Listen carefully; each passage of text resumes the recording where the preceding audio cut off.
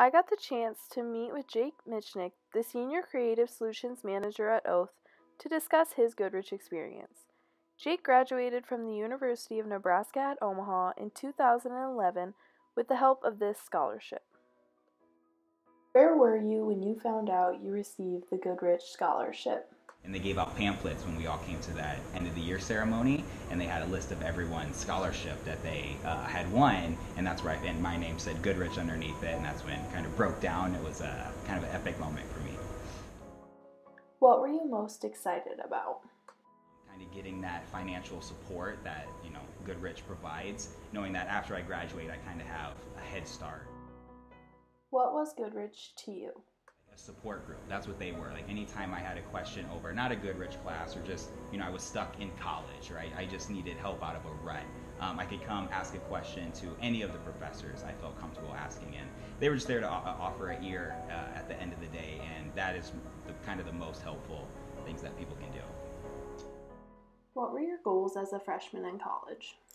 Um, some of my goals. So I, I, wanted to get straight A's, of course, was kind of the, you know, um, but more than that, kind of make an impact. Like kind of every class that I went to, um, kind of get all that I could out of it uh, to kind of live the experience and get enriched by the education. Um, so that was kind of my goals, and because I wanted to do that, that translated to those good grades and, and the honors programs and all that good stuff. Did Goodrich help you achieve your goals?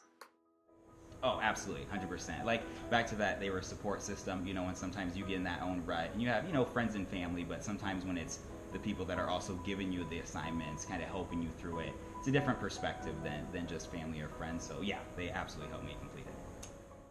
Did you have a favorite Goodrich course? My favorite class was probably, weirdly enough, autobiographical reading and writing, and I think it was because.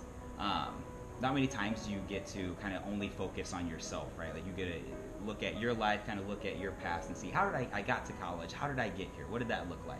Um, and you have a chance to kind of put it on paper, which is such an awesome art.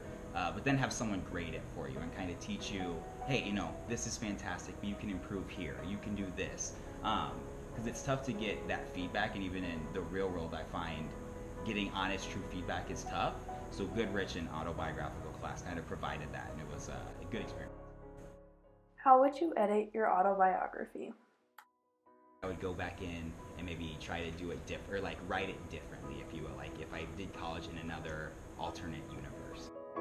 I would like to thank Jake for sitting down with me and taking the time to discuss his Goodrich experience. It was very eye opening and helped me understand how grateful I really am to be a part of this program.